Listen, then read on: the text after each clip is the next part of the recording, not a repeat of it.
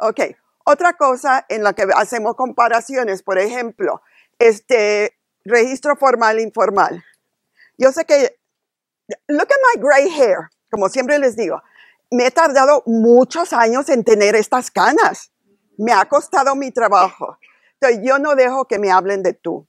¿Por qué? Porque la mayoría de ellos están acostumbrados a un registro social informal que me parece perfecto.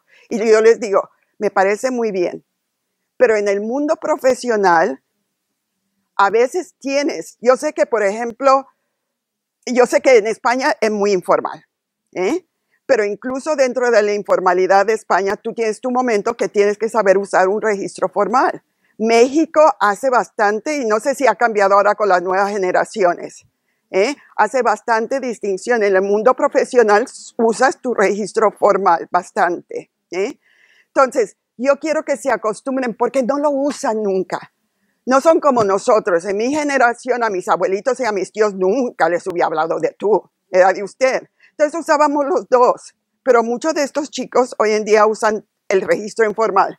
Entonces, ponerles unas situaciones.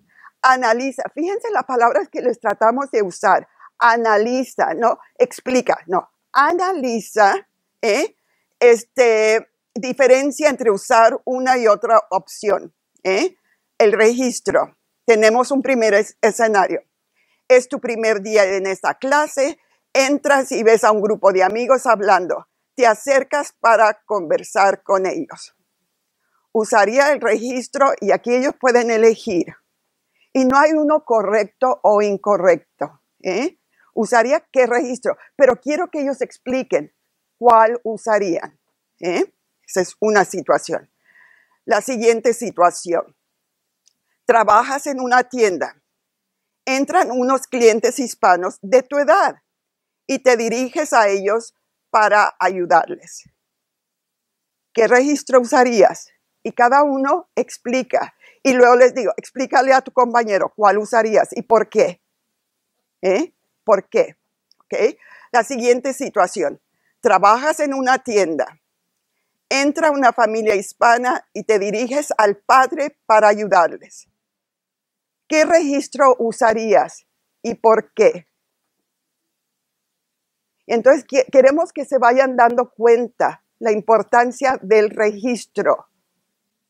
Y aquí algunos, pues informal, y otros dirían, no, no, no, no, tienes que ser formal, depende. ¿eh? Pero siempre les vuelvo a decir, es mejor que alguien te diga, por favor, háblame de tú, a que te digan, yo no he tomado sopa en el mismo plato que tú. ¿Eh? ¿Ok? Luego cuatro, el escenario cuatro. Has estado enfermo y quieres avisarle a tu profesor que vas a faltar a clase.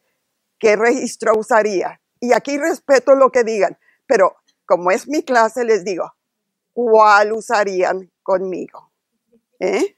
Y entonces, entonces aquí es donde ellos están viendo que hay mucho más valor a esa lengua que ellos manejan y que hay muchas cosas que ellos tienen que analizar y prepararse de antemano.